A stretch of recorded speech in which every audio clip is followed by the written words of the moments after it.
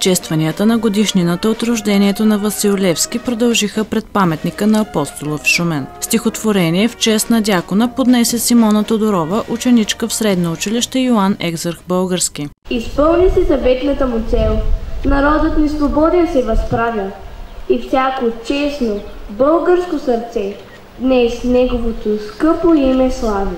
На церемонията присъстваха кметът Любомир Христов и неговият екип, представители на общински и държавни институции, общественици, почетна рота от Шуменския гарнизон, представители на патриотични клубове и граждани. Слово поднесе уредникът на къща музей Панайот Волов Милена Георгиева. Датата 18 юли винаги буди гордост като емблема на свободата.